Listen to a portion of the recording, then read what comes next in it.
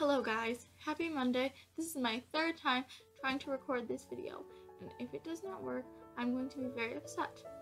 So today I wanted to talk about poetry in specifics Edgar Allan Poe.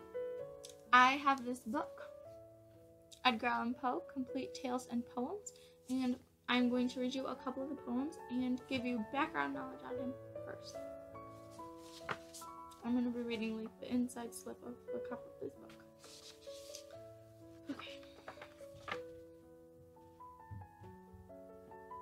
A career that spans slightly more than two decades, Edgar Allan Poe pioneered the short story as a literary form, perfected the tale of psychological horror, launched the detective fiction genre, and helped to revolutionize modern poetics. The full body of Poe's imaginative work encompasses mystery tales, horror stories, satires, fables, fantasies, science fiction, dramas, and verse. Edgar Allan Poe Complete Tales and Poems features all of Poe's fiction and poetry.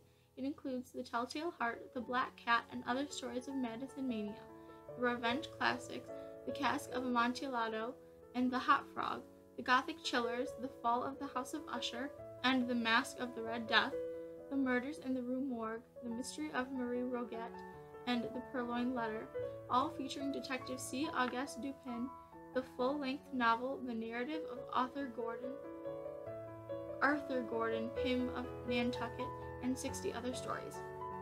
This book also includes more than 60 works of poetry, among them such literary landmarks as The Raven, The Bells, Annabel Lee, The Haunted Palace, and The Conqueror Worm.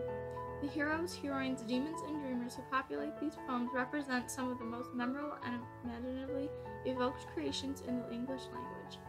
In Poe's mournful and meditative works, beauty is eternal, existence is but a fleeting dream, and love acknowledges no limits, not even the grave. And Allan Poe, Complete Tales and Poems, is the ultimate tribute to his creative genius.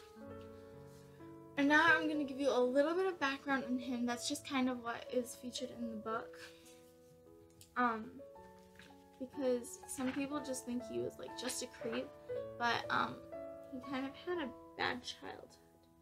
So I'm gonna read just a little bit of this because it's a lot of like it's like a few pages long. Okay. Self-destructive, melancholic, and usually dressed in black, Edgar Allan Poe, 1809 to 1849, was the rock star of American literature in the 1830s and 1840s. While most writers of his time strove for the appearance of middle-class respectability, Poe was touched by scandal from his earliest days until death the circumstances of which remain unresolved. Sadly, the controversial details of his life, which were made to appear even more scandalous by the publication of an unfavorable obituary written by a former friend and executor of his estate, Rufus Griswold, tarnished his reputation as a writer for more than half a century after his death. The rediscovery of Poe's work in the first half of the 20th century and the establishment of his importance as a critical figure in development of a uniquely American form of literature have revealed the important influences his work has exerted on both contemporary literature and culture. The popular view of Poe after his death was that of the son of actor Prance who disgraced himself as a gambler and drinker at both West Point and in the University of Virginia, who later became addicted to laudanum. People remembered that he had a huge number of women fans who wrote to him, tried to meet him, and praised him in poetry and in letters and newspapers, and they recalled that he had married his 13 year old cousin, Virginia Clemm when he was a man of 27. What those who scorned Poe in the half century or more following his death forgot that he was a prolific writer and perceptive critic who published more than 350 short stories, poems, essays, and critical articles, as well as a novel, the narrative of Arthur Gordon Pym, and the drama Politian under his own name, in addition to numerous anonymous writings. And that's all I'm going to read about him. And now I'm going to read my favorite, favorite poem by him called Dreams. Oh, that my young life were a lasting dream, my spirit not awakening till the beam of an eternity should bring the morrow. Yes, though that dream were of hopeless sorrow. Twere better than the cold reality of waking life to him whose heart must be, and hath been still, upon the lovely earth a chaos of deep passion from his birth. But should it be that dream eternally, continuing as dreams have been to me, in my young boyhood, should it thus begin, 'twere folly still to hope for a higher heaven. For I have revelled when the sun was bright, I the summer sky in dreams of living light, and loveliness have left my very heart in climes of my imagining apart from mine own home with beings that have been of mine own thought. What more could I have seen? 'Twas once, and only once, and the wild hour from my remembrance shall not pass. Some power or spell had me bound. 'Twas the chilly wind came o'er me in the night and left behind its image on my spirit, or the moon shone on my slumbers in her lofty noon too coldly, or the stars, however it was, that dream was as the night wind. Let it pass. I have been happy though, but in a dream. I have been happy, and I love the theme. Dreams, in their vivid coloring of life, as in that fleeting, shadowy, misty strife of semblance with reality which brings to the delirious eye more lovely things of paradise and love, and all our own, than young hope in his sunniest hour hath known. Now, I know he uses a bunch of big words, but if you know about him, he had a really rough childhood. And so basically, that poem is about um his childhood and how he was like he hated the world because nothing could be happy and um how he was only happy in his dreams and I want to read one more poem, and I don't think there's enough time for a tale because these are kind of long. I want to read Annabel Lee because these are probably my two favorite poems from him, and um, my favorite tale would probably have to be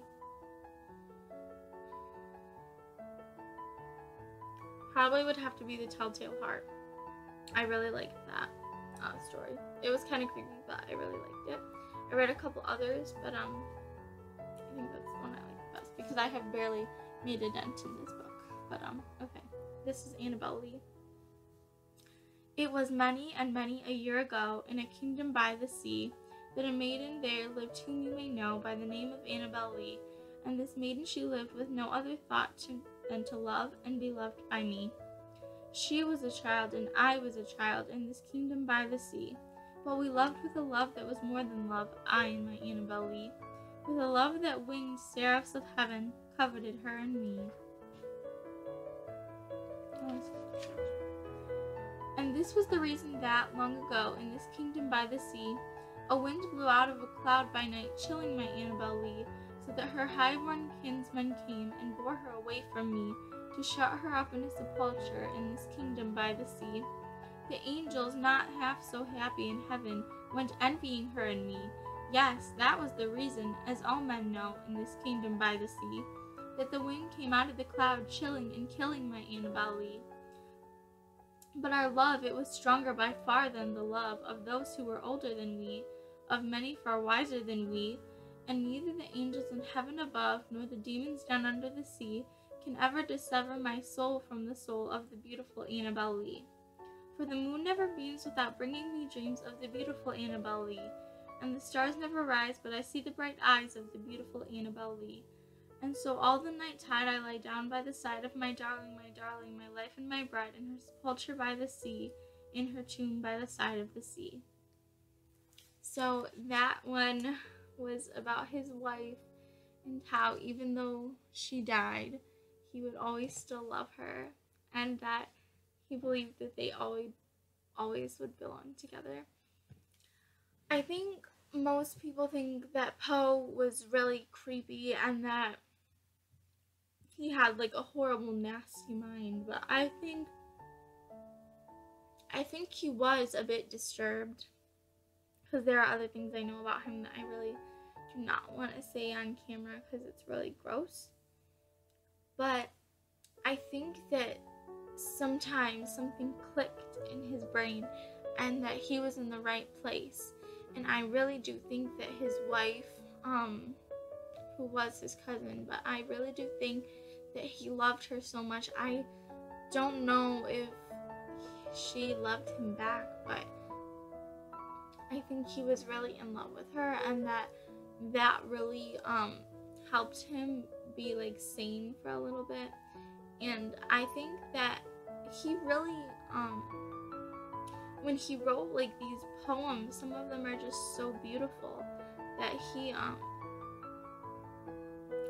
he just I feel like he put his real like heart into it. Like I think it's it's beautiful and um I really love Edgar Allan Poe.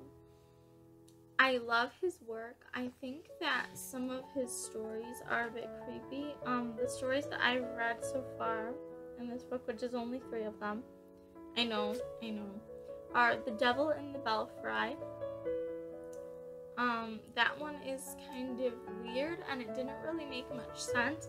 I understood what it meant, but, um, or what he was trying to say. I don't know if there's a moral to that story. Um, if not, I didn't get it, but, um, uh, his work is kind of hard to comprehend for me, especially because, um, of the language used during that time.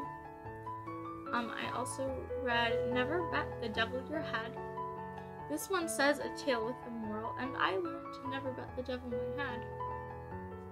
Um, and last but not least, The Telltale Heart. And that story, I don't really know what the moral of that one is because obviously you shouldn't kill people. But I don't know. I really did enjoy that one. Um. Oh about the author. Oh, it tells me about Edgar Allan Poe in the back of this book.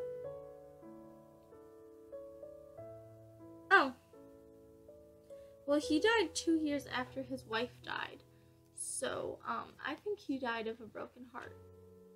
Um, tell me what you guys think about Edgar Allan Poe. Tell me what uh, your guys' favorite poet is. I would really like to know. I'm so interested to hear what you guys have to say. Um, it was great getting to talk to you about something that was like not about church and just something that I enjoy. I hope you guys enjoyed it as much as I did. I will see you soon. Bye.